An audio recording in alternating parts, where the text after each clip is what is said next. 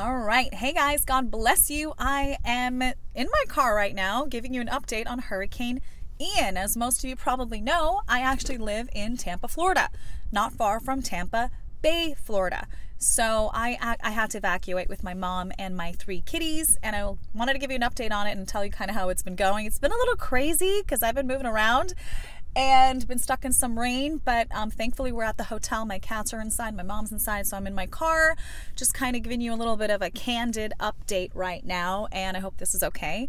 By the way, how do you guys like these little shots from the car? I, I, I actually prefer it. I like to just pop on my camera, talk to you guys, and then post it and it's pretty easy just to kind of stay in communication. But also wanted to say a th- quick thank you to the sponsor, one of my sponsors on my channel, my biggest sponsor on my channel, which is Noble Gold Investments.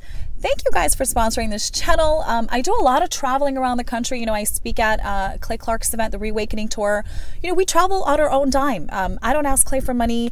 And I don't think actually people should charge for speeches anyway. If you're going to share with patriots in the country, I think you should cover your own dime, you know, cover your own travel expenses. I don't ask for money and speeches. I just I minister the gospel. So that that's free. I'm never going to charge anyone for that. If someone wants to tithe and give, that's on them. But I travel on my own dime. So it's nice that Noble Gold, you know, you guys help so I can actually do that and travel. And also I love to share testimonies on what I saw undercover when I worked for Project Veritas, you know, going deep into the Democratic campaigns and socialist campaigns and communist campaigns, what I've learned there, what I've seen there. I love to share that on the stage too. And, by the grace of God, have a, an amazing radical transformation from being like an atheist liberal, you know, professional poker player on reality television to finding Jesus, becoming a conservative, going undercover for Project Veritas, and then, you know, being being a Christian and you know finding you know the Lord Christian conservative. So um, on YouTube, I for the past over two years I have been considered dangerous. So I'm actually demonetized on YouTube. I don't make a dime on YouTube even though I've appealed it last year and I said, What's so bad on my channel? Which part is that you don't like? The Jesus stuff that I talk about, you know, what's happening in the country part, or what is it? So, you guys can can guess I got uh, you know my second strike because of something that rhymes with 2020 selection. So uh, you get my drift. I can't talk about that anymore, and that sometimes slips off my tongue, and I talk about it. So my bad. So I'm hanging on by a wire on YouTube. So make sure you're following my backup channel, which is Gathering Bride Ministries on YouTube. I'm also on Rumble too. So make sure you follow that. But anyway, thank you to Noble Gold for supporting the channel. Um, you guys check them out. I, I believe in gold and silver. I have it myself. I also have a little bit of uh, crypto, as like teeny bits of crypto as well. So I have a video on that too. You guys can check out. Anyway, back to a little update on Hurricane Ian. Uh, again, was uh, notified a few days ago. What happened was I was just in uh, Clay Clark's event Reawakening tour in Idaho. Was there with friends and family, and then also stayed in Washington State a little longer with family and friends. And Pastor Ruth was there, Pastor Timothy, and my family there, and so had just got to spend time an extra few days. Got back home to Tampa, and ding ding ding, we got an alert that there is a hurricane warning coming right through Tampa. It's one of the reasons I moved to Tampa because it's been a hundred years since a hurricane went right through Tampa. Normally, it's like on the east side of Florida, and it we kind of just get like just the rains. I, I experienced it last year when I moved here, just some of the rains. I was like, oh, tropical storm, that's fine, that's not a big deal. But we have a hurricane four coming right towards Tampa. I was like, oh my goodness, my cats, my mom, and and um, I don't know if I've ever shared it, but I volunteered at two different hurricanes and learned a lot about hurricanes from doing it. I mean, um, by the grace of God, Hurricane Sandy, when it hit New York, a bunch of friends and I, we went to go clean up in Staten Island. And I remember going there, and a lot of people are just taking photos. And we came up to this house right on the coast, right on Staten Island, um, right where, you know, the Atlantic Ocean is, and asked them if they needed any help. And the lady started hysterically crying. She goes, all these people here are taking photos. You're the first ones to ask me if I need any help. Yes, we have so much debris. Me and my husband, we're 75 years old. We can't carry any of this. We need your we need your help. So called reinforcements, came in. It was like a group of 10 of us almost, nine or 10 of us, just cleaning up and going from house to house to house, you know, spending all day. We came back the next day. It was so much fun and so rewarding to be able to volunteer and help and bless people and um, you know, be involved. And by the way, go to your local communities. Like guy, I'm going back home and I'm going to be volunteering. I'm going to go down to Sarasota, Naples, have a lot of friends down there as well. I want to see if anyone needs help. So, always good to volunteer and help after hurricane.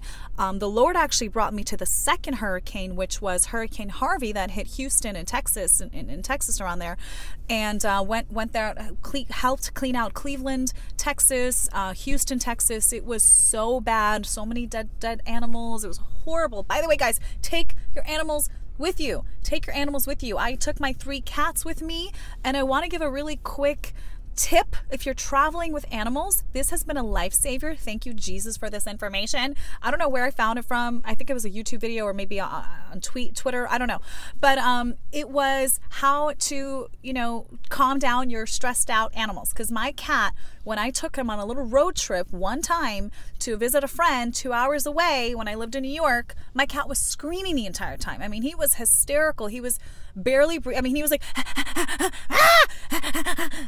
like he was just. I thought he was gonna have a heart attack. I was praying about, you know, on him the whole time. So anyway, found out Benadryl, liquid Benadryl. Make sure check online. I'm not your doctor, you know, just check online. I'm not your veterinarian. Check online. Find out, you know, how much you can give them per weight. So I gave them a little bit. I didn't even give them like as much as they can. I give them a little bit. And even that, like they're kind of not foaming at the mouth, but the saliva comes out. It's one of the um, one of the uh, you know the like, side effects kind of with cats, and it's totally normal. But it freaked me out, and so I was like, oh my goodness! So I give them a lesson they're really like supposed to have, but it knocks them out. They're sleeping, they're calm, so it's been much better traveling with my kitties it's been an amazing few days. But anyway, so we decide we're going to leave Tampa, Florida. Perfect.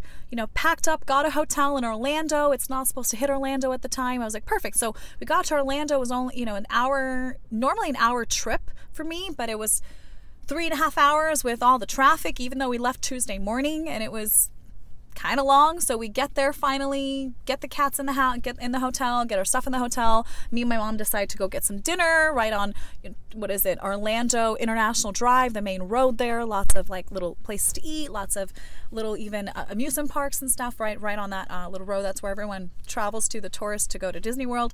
So anyway, we went out to dinner, had a great time. I get another alert. Da-da-da-da-da the hurricane has changed course. Now, instead of going straight north, it's actually going to go northeast and hit Orlando. It's going to be right over Orlando. I'm like, oh no! Because another reason why I'm leaving these the hurricane, first of all, for safety, me and my you know mom and my animals, but also because of this car if you haven't watched the video, like the Lord gave me a car supernaturally, and it, by someone you know watches the channel. I mean, God is so good. He, you got to watch the video. If you didn't watch it, you have to see it. So the Lord gave me this car. I don't want it to drown. It's my baby, and it's my father's car, so I don't want it to go. So. I'm like, there's no way we're gonna be in a hurricane. I don't care if it's Hurricane One, Category One. I'm out of here. So anyways, by the grace of God, I switched hotels. So this morning we woke up early in Orlando.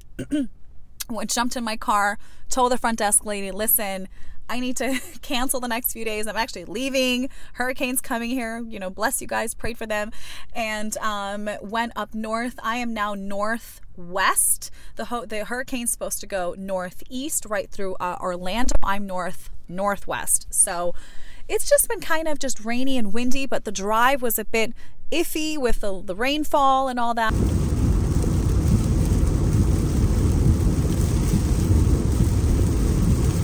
But um, thankfully, you know, we're far away from Southwest where the hurricane is right now. Praying for everyone there. I have friends in Naples and Sarasota, Venice, even Jupiter as well. A lot of patriots live out there. Praying for you guys. Psalm 91 on you guys. The blood of Jesus on you guys. Um, and want to just actually say tomorrow, check out my. I'm going to post a video, another video tomorrow. I'm sharing a dream that I had a few weeks ago, and. Uh, I'm just going to say the name of the dream. The, the name of the dream is Silence of the Lambs. Silence of the Lambs. I've actually never watched the movie. I've, I, don't like scary movies, but uh, had this dream last night, uh, a few days, a few, a few weeks ago, and I just feel in my heart to share it with you. So check out my video tomorrow that I post uh, the Lord gave me this dream, and I was actually like shocked. And it makes sense with Silence of the Lambs because they're trying to silence me on YouTube. I got my second strike. So pray, pray for me as well. Pray for this channel, the Psalm 91 on the channel too. They don't take me off, but You guys can follow me on Rumble, uh, on Twitter, and also my backup channel, Gathering Bride Ministries, on YouTube. Make sure you are subscribed there because if I'm out of here, I will be on my backup channel, Gathering Bride Ministries. So God bless you. See you tomorrow. I'm actually going to film the the dream video right now. Got my dream here, so make sure you check that video tomorrow. Love you guys. Bless you. Be safe if you're in Florida. Praying for you guys. Bye.